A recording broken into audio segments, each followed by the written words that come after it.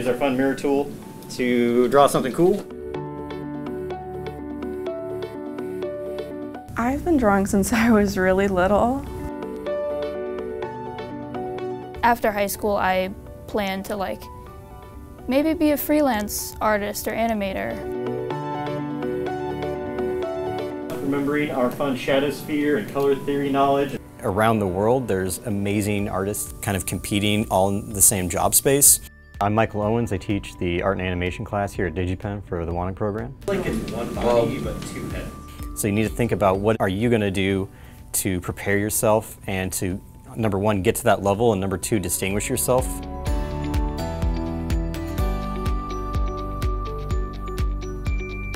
I've been doing DigiPen programs since like 2017. I, I, I love them so much and I feel like I always learn something new and leave a much, much better artist. For those who come here, we have people who have you know, no experience in art and we have people who have lots of experience in art. But even if you have no experience, we start from the very bottom and we establish those fundamentals. I think that what I'm getting out of the DigiPen program is really learning fundamentals and also learning things that would help me in a professional career going forward.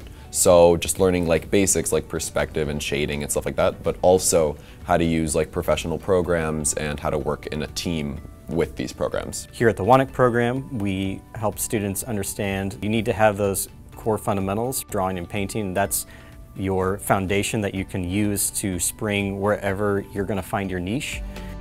The best part of the program for me is the people because I'm constantly surrounded by really creative people who are super talented and that helps me be a better artist because I see everyone else being so great and it makes me want to be even better. It's another thing where I love the creative aspect of it and creating a fantasy or a new world kind of draws me in and it, it's calming for me. It's my, been my hobby for years and I still do it now even outside of school. I like being able to make things come to life. What's great about this program is that it puts you in this very academically structured program that is similar to a post-secondary art school. You will learn all the fundamentals in the same way that you would in a post-secondary institution in a way that most other K-12 programs don't. At DigiPen, I feel like all of the instructors too are really helpful when it comes to building portfolios. I know a few of my friends who are applying to DigiPen. Um, they've gotten a lot of help from instructors.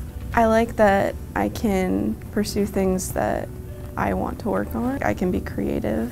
And I love the DigiPen environment. I just really like it here. It's fun. um, it's really nice.